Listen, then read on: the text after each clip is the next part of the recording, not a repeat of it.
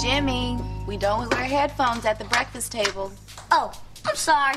Oh, oh, oh. where you going, little man? Matter of fact, what you listening to anyway? Let me see. All right, yeah, that sounds good. Uh huh. Uh huh. Uh huh. Uh huh. Dad! Dad, you're at the breakfast table. That I boy. Who is this? It's little big time. Well, how much jewelry does one man need? And ew, I don't think those gold teeth are natural. Mm, forget the gold teeth. This guy's dog is wearing a diamond hat. That's not just a dog. That's money pooch. I wouldn't mind looking like that. You know, getting some bling bling. Oh, look at him. There you go, my man. Looking good. You excited about your first basketball game? Yeah, my friend Kevin's on the team. And we got this big dude who can slide across the floor on his stomach like a sail. How you like the shirts I got for the team? Nice color, and I like the little logo up top. It's very classy.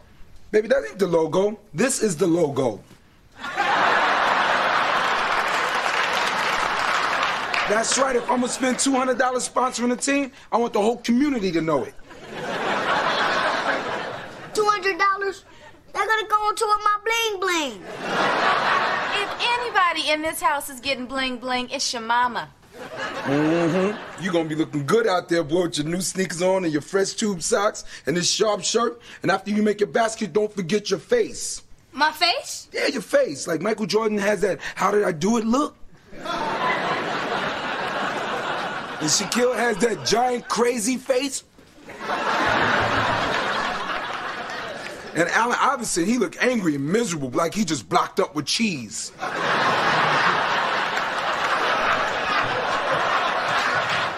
if I just smile? You know, when you save that for the team photo, but on the court, you gotta be an animal. Ah! Come on, man. I grew up on the wrong side of town. All my life, people putting me down.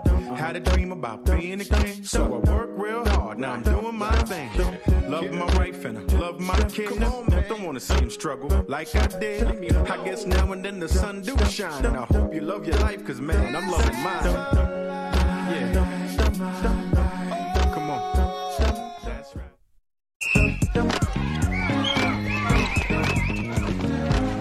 Tracy, if I may offer a piece of constructive criticism, you did a horrible job on those jerseys.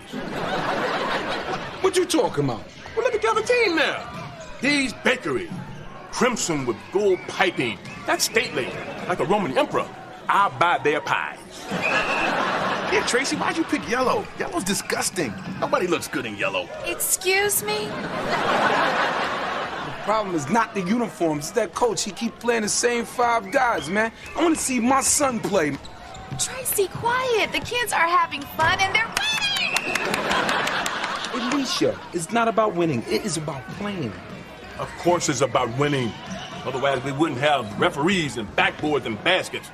Without that, we'd be watching a bunch of idiotic kids throw a ball against a wall. Look, Derek's going in. All right, that's what I'm talking about. Second back down. Show them what you got. It's your court. It's your house. It's your world.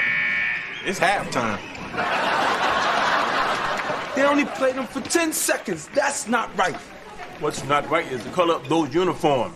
You should have picked a color that says automotive excellence, like maroon.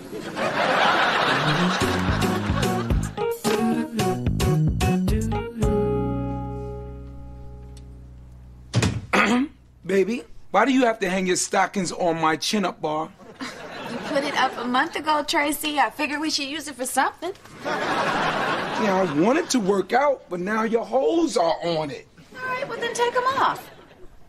Nah, I think they need to dry.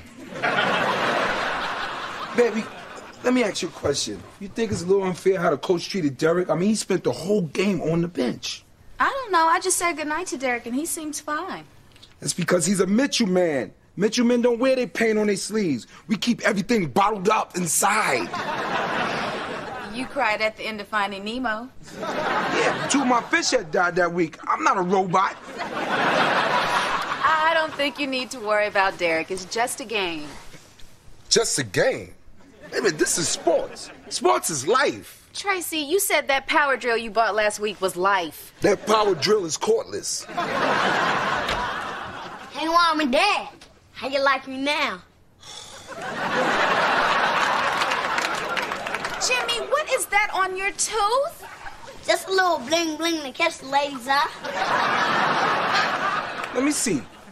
Is that a diamond? Yeah, I got it from Mom's jewelry box. Oh my God, it is really stuck on there. Come here, let me see. Oh, I got to go get the hammer and chisel. Wait, hold it. We can go to the dentist tomorrow. It's not coming off. I use super glue in a hair dryer. This diamond is forever.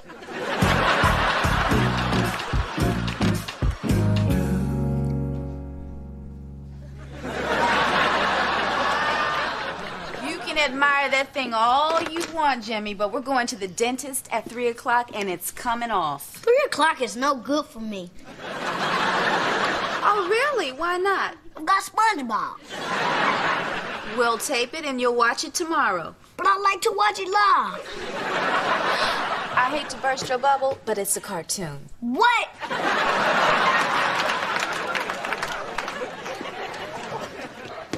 What are you doing? Homework. Why don't you put the book down and work on your jump shot? Then maybe the coach will put you in the game. I don't like playing in the game. Being in front of all those people with the score and the clock is too much pressure. I just like practice. That's fun. You should have told that to Dad before he spent eight dollars on those nice tube socks. I can't say anything to Dad. You know what he's like. Sports is life. It meant you a man. Meant you man. No. Our parents are crazy. Dad thinks sports is life. Mom doesn't like my diamond tooth. These people are out of touch. Hey, what's up, baby pop? What's up, All right. So, D, how you feel about the game last night? Great, we won. Oh, that's the spirit. Mitchell, man. Ah! Let me tell you something. You got the genes of a champion. And once you get the opportunity to play, you going to be great. So just stick with it, little man. Your time will come. I mean, your time will come.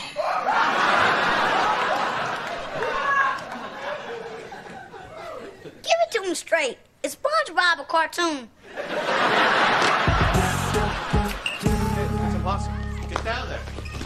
Excuse me, coach. Can I talk to you for a second about my son, Derek? Derek Mitchell? Sure. Yeah. I don't mean to get up in your face. You know, being a coach and all, I'm quite sure you get enough of that stuff. Parents coming down here screaming at you, trying to tell you how to run the team. The worst part of this job is dealing with pushy parents. I can't stand no pushy parent. I want you to play my son more. I'd play him more if he was more focused. Look at him. You're killing me. You're killing me. Just ripping it all out. Just ripping it all out. Take that off. You rip your father's heart right on out. Coach, listen. My son playing is very important to me. I can't take this. All I hear from you parents is, my kid doesn't play enough. My kid plays the wrong position. My kid doesn't like the uniform. Who doesn't like the uniform? You know what, buddy? I'm exhausted. I fix copiers 60 hours a week. I missed half a dozen French lessons that I've already paid for. That money's gone. If you think you can do a better job, God bless. Yeah. Who didn't like the uniform? All right, little boy. From now on, I'd appreciate it if you keep your teeth out of my jewelry box. What's the point of having a tooth if you can't put jewelry on it? You know, I'll be honest. I'm a little surprised at you. What do you mean? I don't know. I really never thought of you as a follower. Like last year at the Christmas pageant, what part did you play? An astronaut. That's right. And never before was one of the three wise men from outer space. But that's what you wanted to do. I gave baby Jesus a moon rock. You got a standing ovation. I did. Exactly. You see? That's what's great about you. You are an original. Well, you know, just doing my thing.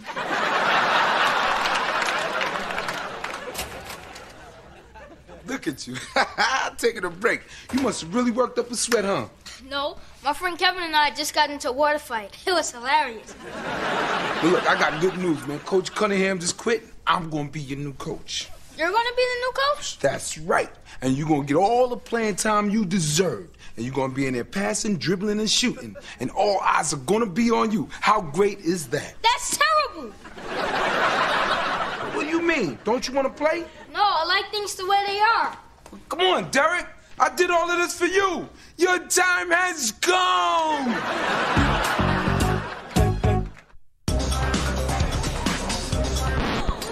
I think you're gonna be a great coach, Trace. You're loud, you're opinionated, and you don't give a damn if people hate you. People hate me. No? I'm such a good coach. How come I can't get my son to play? You want to get your son to play? Get yourself a good whistle. That's the most important thing for a coach. Now, it can't be plastic. Got to be steel with that little wood ball. You, you got one of those? Yes, Spoon, I have one of those. Is it steel I think so. with a little wooden ball? I don't know what kind of damn ball is in the whistle. I'm trying to figure out a way to make my son want to get in the game. He says it's too much pressure. Tracy, you can't force kids to play.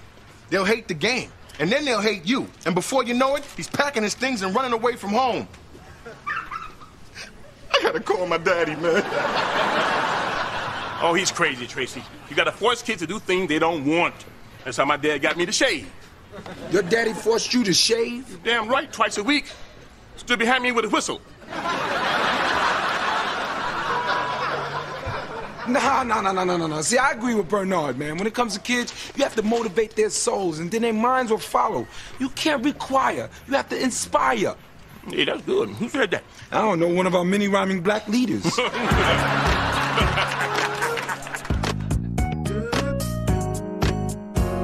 Tonight, I'm gonna talk to Derek about not wanting to play on the team.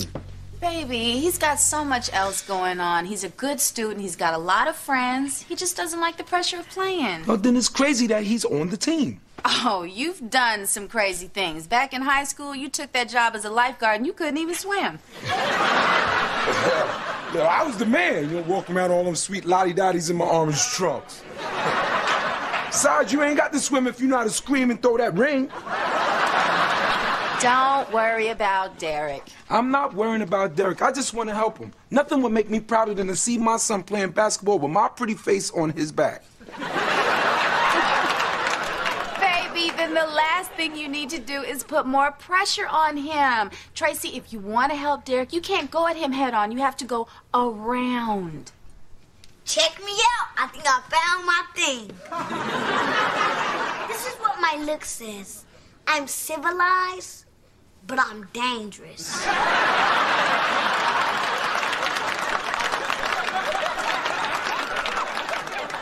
What do you say we go to the supermarket and show me off?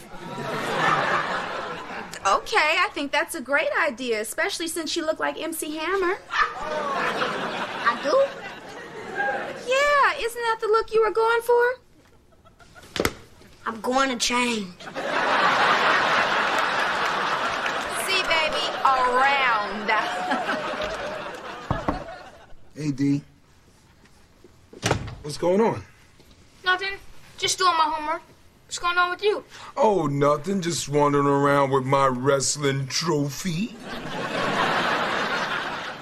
Okay, the year's 1983. Chaka Khan was burning up the charts. Vanessa the Undresser Williams had just been named the first black Miss America. And Michael Jackson's Jheri curl exploded into a ball of flames. then there's me. Here I am at the All City Wrestling Championships, feeling invincible in my tight red unitards. So I steps on the mat, right? For the first time I see my opponent, this huge Ukrainian dude. The only tougher looking person in the place was his mama, and she looked like Larry Csonka in a house coat. So the bell rings. The zing! Before you know it, it's Stu Ivan is sitting on my neck. But did I give him the pressure? Hell no. I reached over and I grabbed a fistful of backhand and I pulled as hard as I could. Did the flip flop move and pinned him. Are you serious? Yes, his mother stormed the mat and threw a cigar at me. You see, D, your father had to overcome a lot of pressure too. Yeah, I guess you did. And I know you can do the same. So let me tell you about the time I had this match and I bit this South African dude's eyebrow off.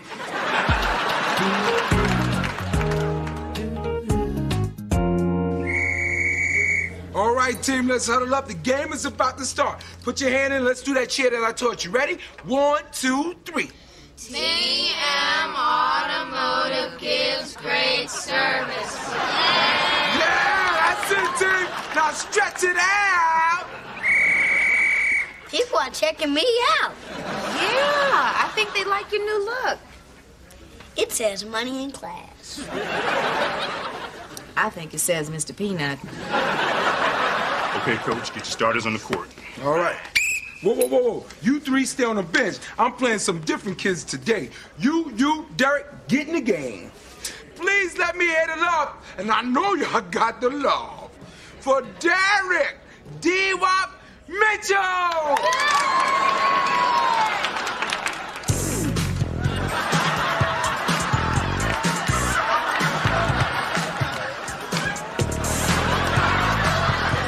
Derek, that's your cue to take off your sweats and get in the game. I told you I don't want to play. I thought you were gonna play through the pressure. We talked about this. No, you talked about this and all I did was listen. Come on, Dad, just put someone else in. Shh, I'm not just your dad, I'm your coach. Now take off your sweats and get in there.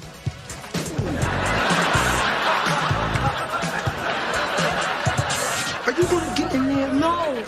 That's it.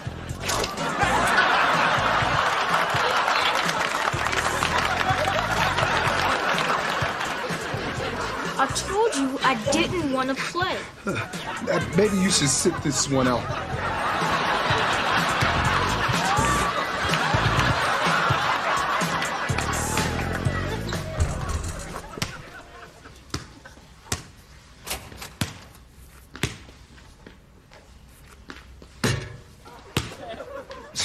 I see you got your pants back on. Case you come at me again. Sorry about that. I'll make it up to you. You go to Yankee Stadium on the opening day. You give me a wedgie on the jumbotron. No, Dad, if you can't deal with me hanging out on the bench, then maybe I should just quit the team. No, no, no, no, no, no, no. See, you don't have to quit. I already fired myself as coach. You did? Yeah. D, I wanted you out there playing in the game because when I was coming up in the project, it was trouble all around me. And I needed sports to stay out of that trouble. But I don't get into trouble. Yeah, I know you don't. Because you're not me. You know what I'm saying? You might look like me, a couple of handsome dudes, some heartbreakers and stuff. But you are not me. So, do you want me to be on the team or not? Of course, no doubt. But more importantly, I want you to have fun. You know, Dad, maybe I might not like playing in the games, but I bet you I could beat you in one-on-one anytime. Well, you can try. I'm telling you this, though. If you shoot and miss, you're in trouble because I got that bootylicious box out.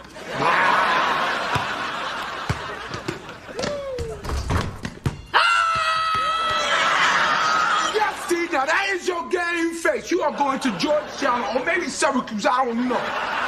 But you got work on them two more SATs now.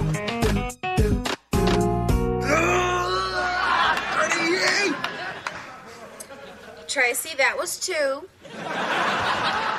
No, no, no, no. See, you was reading. I did a bunch of them when you turned the page. Man, if Derek ever decides to take sports seriously, he gonna be all right because he got good genes. He might, Tracy. I mean, he's only 12. You know, these kids are still trying to find themselves. Then why bother getting to know them now? I say we should take a cruise and come back when they're about 45, 50. come in. I've been thinking, being a transit is just too stressful. What you mean? You know, people always ask me, what's Jimmy doing? Where's Jimmy going? How's Jimmy living? I can't handle the pressure. I want to be left alone. Um, what time does that cruise leave? I don't know, but we going. Everyone, hands. I grew up on the wrong side of town. Omarosa has her man right where she wants him. His hands were all over me. But the consummate player And I'm laying my heart out for you. didn't count on being played. Are you married? Will Lady O blow up the ultimate merger? Only two episodes left. Thursday at 10 p.m., 9 Central on TV One.